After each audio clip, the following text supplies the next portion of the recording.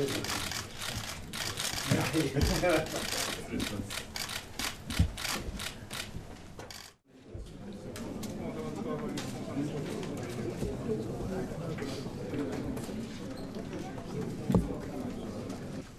日は皆様お集まりいただきました誠にありがとうございます。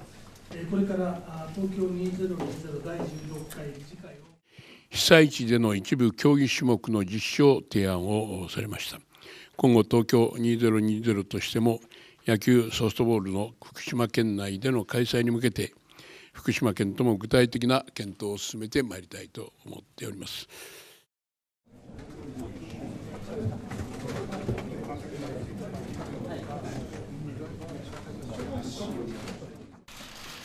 どうも、ご苦労様ない、失礼します。先生、気がそうなの、それ良かったね。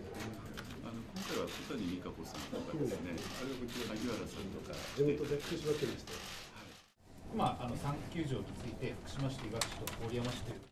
まあ、12月の上旬に IOC の理事会があるというふうなことを聞いておりますから、えー、それまでに関係機関あの WSB SC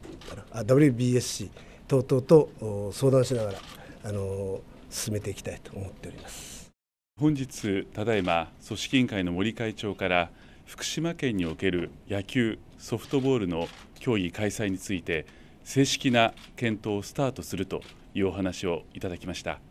これまで養成活動を続けてきたその形がですねまずスタートを切れるということに対して本当に嬉しく思っております。